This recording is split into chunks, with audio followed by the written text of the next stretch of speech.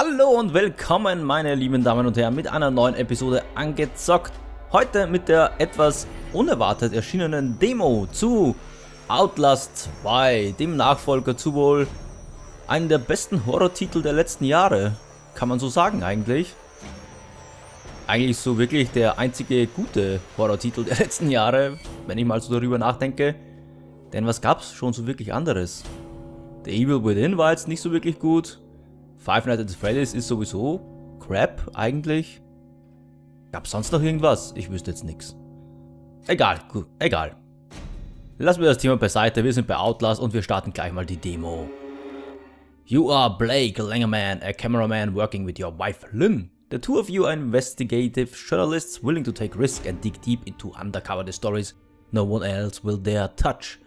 You're following a trail of clues that started with the seemingly impossible murder of a pregnant woman known only as Jane Doe.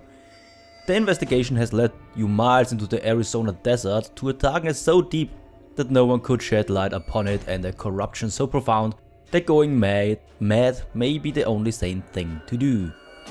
Okay, wir sind also Journalisten. Also wir sind ein Journalist, der mit seiner Frau zusammenarbeitet und gerade irgendeinen Mordfall von einer schwangeren Frau untersuchen. Na gut, gucken wir mal.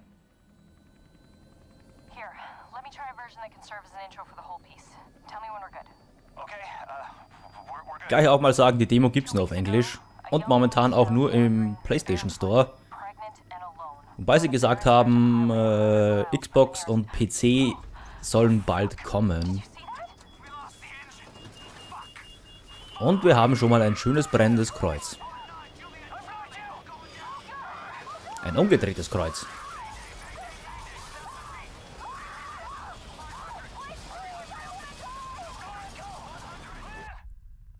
Da hat der Ku Klux Klan das aber irgendwie falsch aufgestellt. Naja,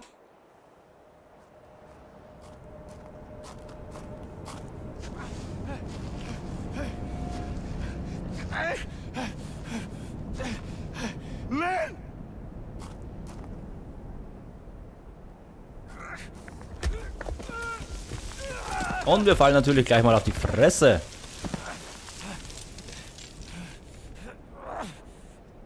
Mir ist schwindelig. Ach, ich muss jetzt mal die Brille suchen. Da hast du sie. Hoffentlich kein Sprung drin. Nee, sieht noch gut aus. Alles cool. Ach, und natürlich die Kamera.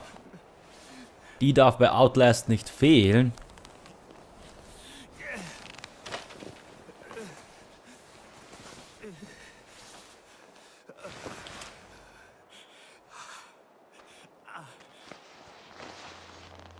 Aha, okay.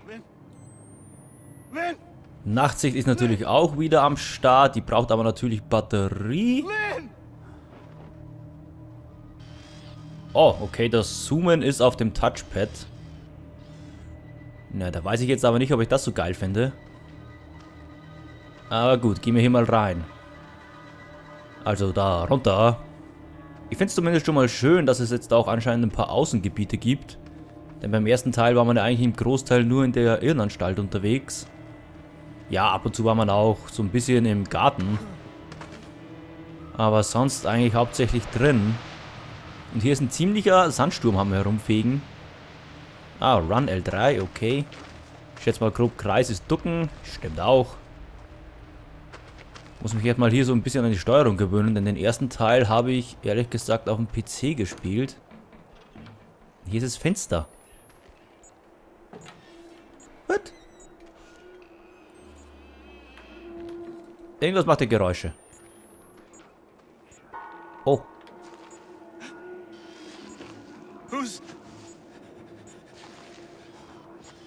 Du tust mir nichts, oder? Ihr seid doch alle nette Leute hier. Kann ich eigentlich rein? Ich will nicht die Batterie nachladen. Ich habe doch noch genug. Aber rein kann ich hier anscheinend nicht. Na Gott, ja, dann lade ich halt mal nach. Ansonsten geht die Anzeige nie weg. Meine Fresse, ey. So.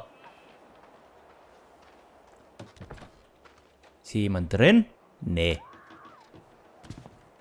Oh. Ja, zieh dich zurück. Hast schon recht. Hast du Schiss von mir, hä? Ja, ja, ja, ja, ja. So kennt man euch Meuchelmörder. Kann ich das anschubsen? Nee. Was denn das hier eigentlich? Eine tote Kuh. Das ist ja aber nicht alles unbedingt sehr hygienisch. Was war hier? Hide? Da drin? Yay! Hallo? Okay, ist zumindest mal ein bisschen was anderes, als wie immer nur die Spinde und Schränke im ersten Teil.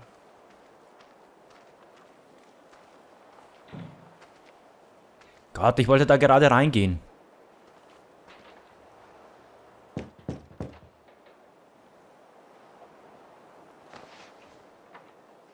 Okay, komm sogar rein. Und wer hat hier bitte schön die Tür geschlossen?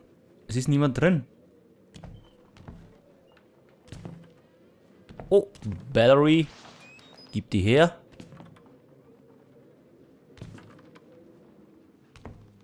Wer sind die eigentlich?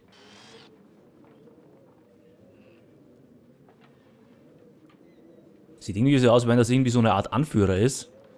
Aber für Jesus ist er ein bisschen zu fett. Na gut. Boah, hier ist es aber Fenster, ey.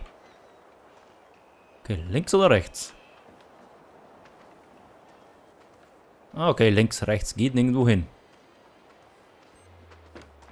Waren echt fucking Fenster hier. Ach, ach, der schöne Teddybär, dem fehlt ein Auge.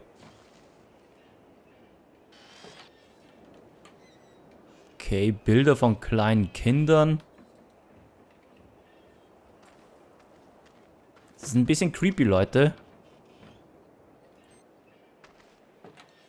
Okay, durch die Tür kann ich nicht, aber ich schätze mal grob, dass ich durchs Fenster kann. Scheiß Raben.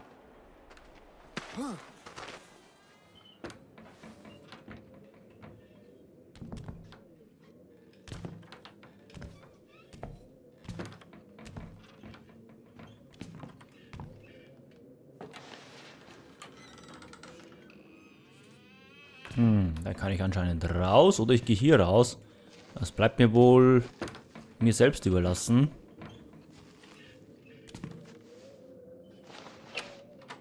Okay, hier könnte ich raus. Jetzt will ich aber echt nochmal probieren. Ne, hier ist zu. Okay. Dann geht's sowieso nur da. Ach, da ist ein Loch im Zaun. Alles klar. Da hängt auch irgend so ein Fetzen. Hat der irgendwas zu bedeuten? Gehört der irgendwie zu meiner Frau oder irgend sowas in die Richtung? Keine Ahnung. Ich weiß ja nicht mal, wie die aussieht. Kein Nachtsicht bringt mir hier nicht wirklich viel. überall diese Kreuze, ey. Muss das sein?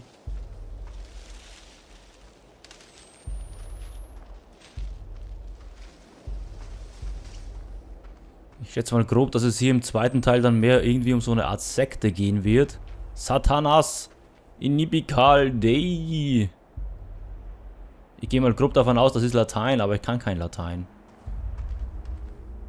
Und wir gehen natürlich runter in den schönen Keller.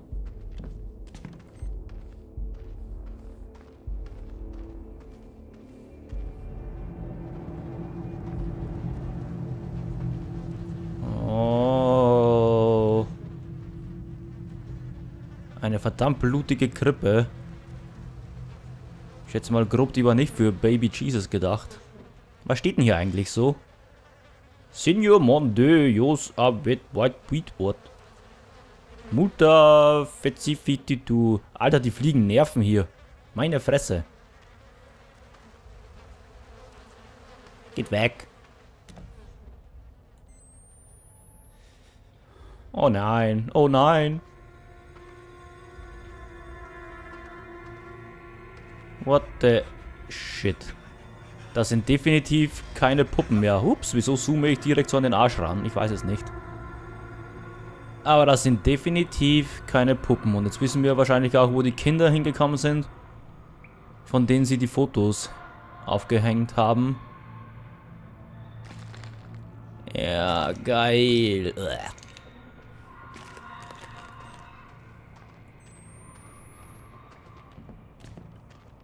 Schnell wie möglich wieder raus hier. Ach natürlich, jetzt steht hier auch noch so ein Schaukelpferd. Jetzt fängt wahrscheinlich gleich auch noch irgendeine Mädchenstimme an zu singen. ich sag's doch, es gab gleich eine Mädchenstimme. Und im Hintergrund hört man schon. Soll ich echt da runter? Muss ich anscheinend. Denn daraus komme ich nicht. Gehe ich mal grob davon aus. Nee.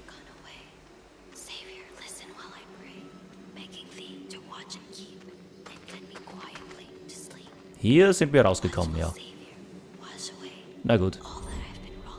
Dann rein da.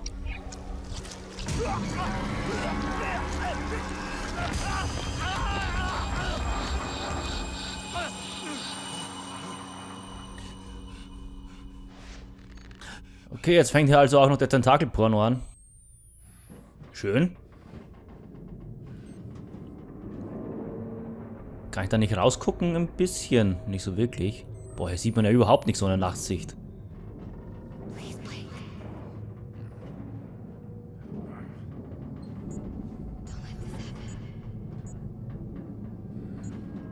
Ja, nee, jetzt will ich noch nicht nachladen. Ein bisschen Saft habe ich noch. Was passiert denn hier jetzt?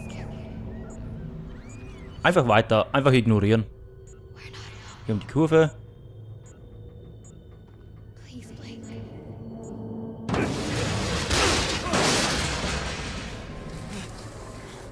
Das hat ein bisschen Rums gemacht. Aber wir sind anscheinend in der Schule. Zumindest haben wir mal ein bisschen Licht, meine Güte. Dieses Gestöhne vom Hauptcharakter Ach, das erinnert mich sehr stark an den ersten Teil. Der hat auch immer. Ah, ah, uh, i, ah, oh. Die ganze Zeit. Uh, Battery. Joink. Eine Floppy Disk. Wer zur Hölle benutzen die heutzutage noch, bitteschön? Gut, ich weiß jetzt auch nicht, in welchem Jahr das Ganze spielt, aber ich schätze mal doch, das wird ein bisschen aktueller sein, oder? Hier ist zu.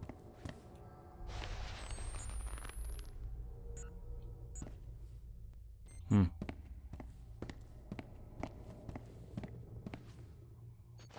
Upsala.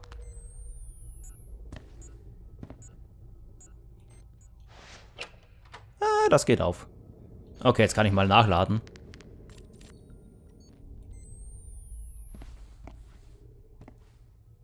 Wieso ist es hier überall so Fenster?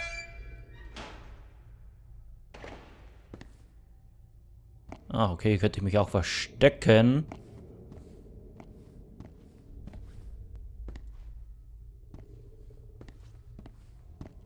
Oh, da sah ich was blinken. Joink.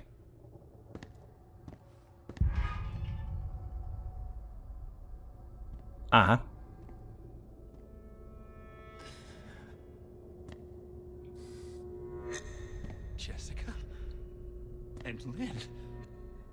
Was? Wo ist Jessica? Na, gucken wir uns das hier mal an. To Jessica. First place. Hey Lynn, I'm bored. Mr. Combover still talking about the 30 Years War. Bla bla bla. Habsburgs, bla bla. da hat wohl jemand richtig viel Spaß in der Schule. Okay, Music Box.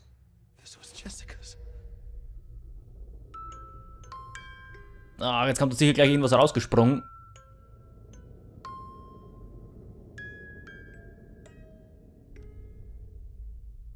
Oder auch nicht.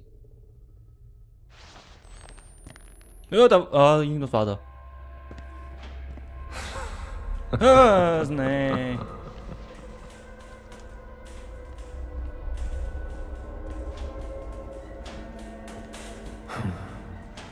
Ah, nein, nein. Ach, scheiße. Kann ich wieder zurück in das Klassenzimmer, wo Licht war?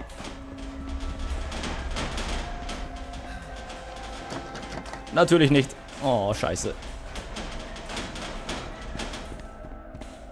Boah, komme ich hier irgendwo raus? Ich will hier einfach nur weg. Ich versteck mich.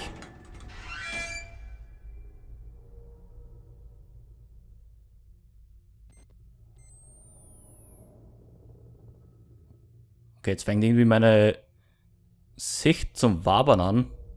So links und rechts.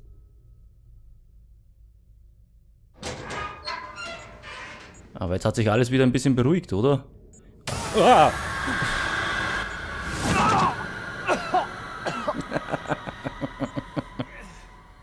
Ihr Arschlöcher! What the fuck ist denn mit der Kamera los, ey?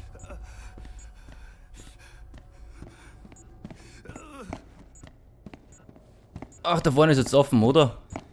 Oh, das ist er. Oh. Einfach nur durch. Da ist Licht. Das finde ich gut.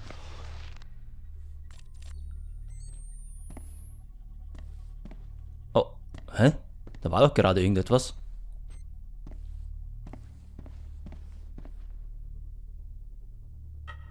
Schnee. Boah, das Ganze hat gerade hier irgendwie so einen kleinen Silent Hill Vibe. Ist hier noch irgendwo eine Batterie für mich? Das würde ich echt nice finden. Ah, nee, kleines Mädchen. Ah, lass mich in Frieden. Jessica. Ja, ja, Jessica kann schreien. Ich will eine Batterie haben. Hier ist aber nirgendwo eine. Scheiße.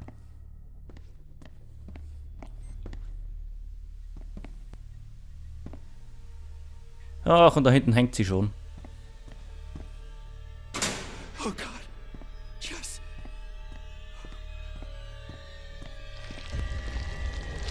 Oh, das Zungenmonster ist auch wieder da. Lalala, ich will da gar nicht rein. Oder? Ich schätze mal grob, ich muss da rein. Kann ich aber nicht. Ey, du! Nee, nee, nee, nee, lass mich doch. Ach, komm, nein. Aua. Okay, wir sind anscheinend wieder zurück in der Hütte und... Oh, hallo Leute. Nein, mach zu. Oh Gott. Zück die Kamera. Oh nein.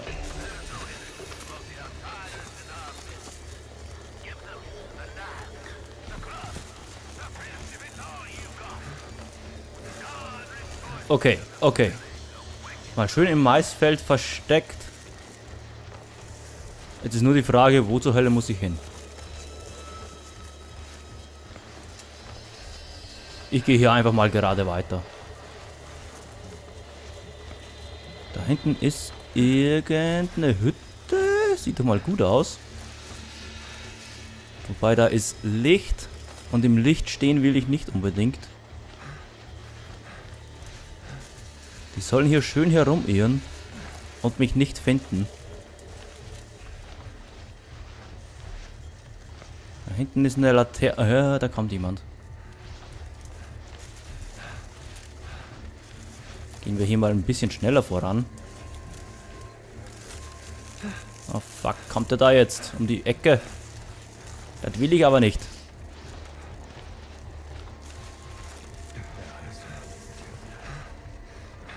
Oh, ich glaube da... Oh, scheiße. Ja. Kommen die hier aber von überall. Einfach mal hier verstecken. Fuck, ich glaube, das war nicht clever.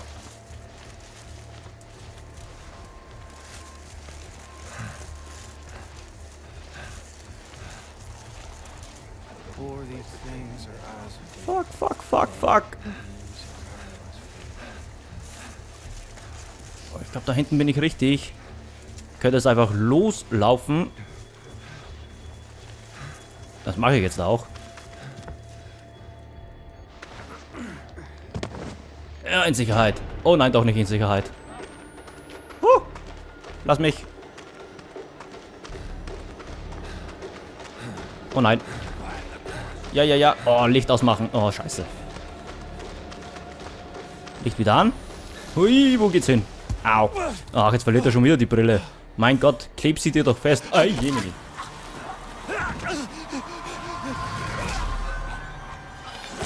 Oh, doch nicht dahin. Genau in die... Ah ja. Und das war schon die Demo? Die war aber fix vorbei. Da hätte ich mich, glaube ich, mal ein bisschen mehr umgucken können. Umgucken können. Aber gut, ja. das war's dann mit der Demo zu Outlast 2. Und ich habe sogar überlebt, ohne dass ich einmal gestorben bin. Das wundert mich ein bisschen selbst, muss ich sagen. Denn beim ersten Teil bin ich, zumindest am Anfang, oft genug gestorben. Aber ja, Outlast 2 macht mal einen guten Eindruck, einen guten ersten Eindruck. Ich frage mich halt auch ein bisschen, ob das dann in der Vollversion dann auch so ist, dass man so zwischen Plätzen hin und her springt. Also wir waren zuerst in dem Dorf, dann sind wir irgendwie in die Schule gekommen und dann waren wir wieder in dem Dorf. Wie das Ganze zusammenhängt. Wahrscheinlich hängt es irgendwie mit dem Zungenmonster zusammen, aber was genau das dann ist, ey, was weiß ich. Gut, das war ja beim ersten Teil auch schon irgendwie so mit dem Outrider-Typen oder wie der hieß, dieses Geisterwesen. Der war ja auch schon irgendwie komisch. Und das Zungenwesen sieht noch um vieles komischer aus. Aber lassen wir uns einfach überraschen, wenn Outlast 2 schlussendlich irgendwann mal erscheinen wird für PC, Xbox One und Playstation 4. Wann genau, weiß ich jetzt gar nicht, wann der Release sein soll. Das hätten sie am Ende von der Demo schon irgendwie hinschreiben können. Wäre nicht schlecht gewesen. Aber ja, Outlast 2, ein guter erster Eindruck. Ich bin gespannt auf die Vollversion. Und ja, ich hoffe einfach mal, wir sehen uns wieder beim nächsten Video. Sage danke fürs Einschalten und bis zum nächsten Mal. Tschüss, auf Wiedersehen man sieht sich.